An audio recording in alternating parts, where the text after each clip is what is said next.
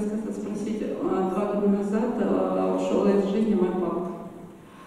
И ну, он нас оставил гораздо раньше, и когда он оставил, видимо, я тогда уже с ним попрощалась, как бы действительно. И вот сейчас, когда он ушел, я не понимаю, какие у меня с ним отношения. Вам плохо от того, что он ушел, или вам безразлично, что происходит? Безразлично. Ну, потому что нет я, отношений. конечно, горечь утраты. Нет, ну, все понятно. Нет отношений глубоких, нет. э, Вы, то есть, вы как бы стесняетесь своего состояния. Вы не понимаете, почему он ушел, а вы там с ума не сходите, так?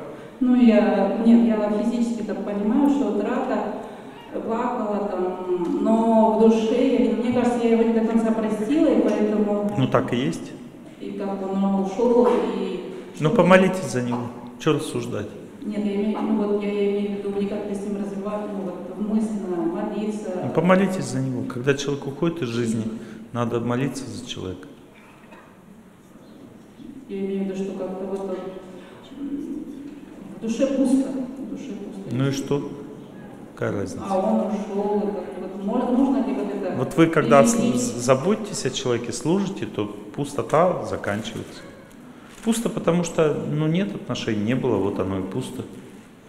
У вас же не было отношений. Вы молитесь за него, и будут отношения, создайте эти отношения своей молитвой. Когда мы служим кому-то, создаются отношения. Начните служить человеку, молиться за него.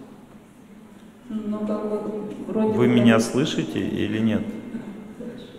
Потому что я вам уже четыре раза сказал одно и то же. Вы опять за свое?